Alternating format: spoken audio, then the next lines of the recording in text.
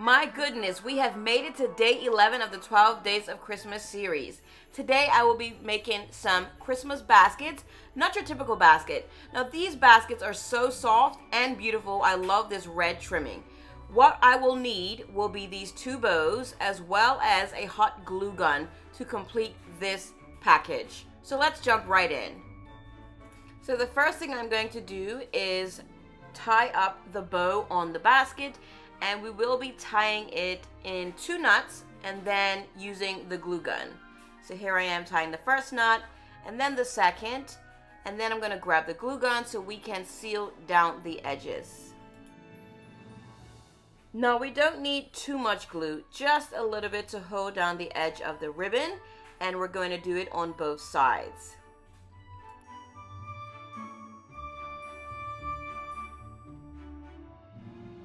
Now I'm going to grab my scissors just so we can cut the ends and give it that smooth finish.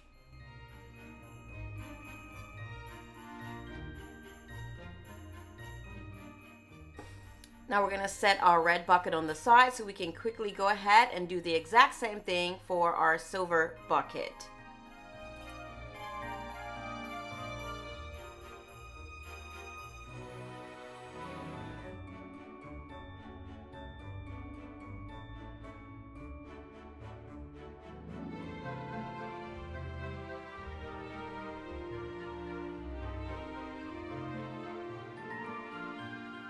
So now I'm just adding a touch more of glue to the end so it can be nice and flat and smooth.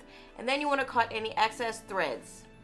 Okay, so step one of our baskets is complete and now we're going to fill it starting with our decorative shredding. Yes, I know, I love decorative shredding. So in the first basket, we are going to put just red and we're going to put a good bit in there just to give it that extra fluffiness. Our second basket will have the white decorative shredding.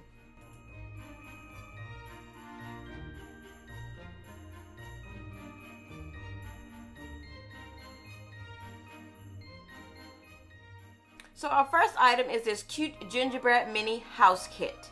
Anyone who gets this will love this activity to do with the family.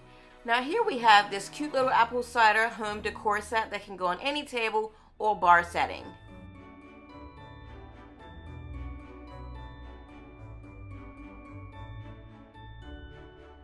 Now it's time to bring out the goodies. We will be putting in these baskets Frosty the Snowman chocolate bar. Yes, delicious.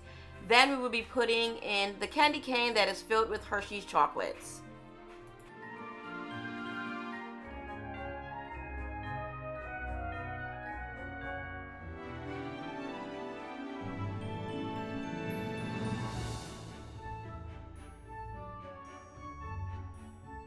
Now we're gonna grab our fabric bags and put more chocolate goodies inside of them and then put them in the basket. So let's go ahead and fill them.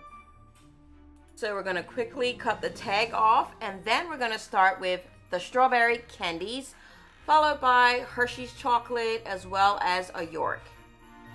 This was a nice, quick, and easy basket that will count as a dual gift. You can enjoy the goodies inside and then keep the basket for later use. Stay tuned. Tomorrow is the final video of the series and everything will be listed on how to enter the giveaway. See you tomorrow.